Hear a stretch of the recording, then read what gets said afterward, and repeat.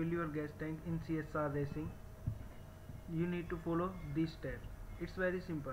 Just go to your date and time settings. You need to change your date and time settings. Like if I do this change and click on this it shows that your tank is full. Thank you for watching.